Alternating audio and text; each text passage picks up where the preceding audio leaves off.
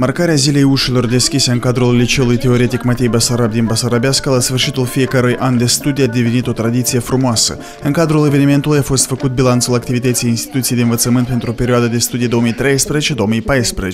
Potrivit managerii liceului teoretic, anul a fost foarte productiv. Îmi pare foarte bine că copiii se încadrează în toate uh, activitățile planificate și desfășurate. Îmi pare, sunt mândră că avem copii talentați în toate domeniile. Copiii noștri sunt mobilizați să participe la diferite concursuri raionale, republicane și sper eu că uh, la anul să fim și mai buni decât în anul acesta.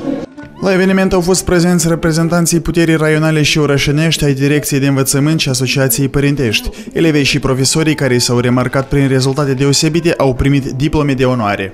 Anul acesta, cea mai importantă reușită a mea a fost uh, să, să obțin o mențiune la Olimpiada, la Olimpiada Republicană la Chișinău la limba și literatura română. Uh, a fost un rezultat pe care datorez în primul rând oamenilor care au fost alături de mine zi de zi. Tinerii jurnaliști care participă la elaborarea emisiunii Молодежный квартал s-au ales cu diplome, premii și cadouri bănești din partea studioului BAS TV. Liceul teoretic Matei Basarab este unica instituție de învățământ din oraș cu predare în limba de stat. După părerea tinerilor, școala lor se deosebește de celelalte. Liceul nostru se deosebește de celelalte licee deoarece este un liceu mare, numeros, cu profesori foarte buni și cu elevi bravi. Profesorii afirmă că vin la ore cu o deosebită plăcere.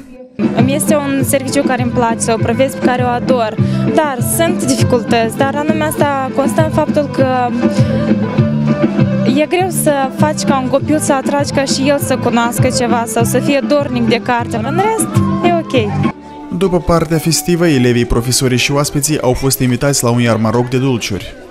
Am adus pirog, jeleu și hrustike. Am adus niște fel ca bounty, gustoși. Și ce aștept să gătești tot asta? Mama. Mama și bunica. Ce prețuri ai? Hrustichele câte un leu, un cup de jeleu tot un leu și o, o bucată de pirog tot un leu. La mine e 4 lei.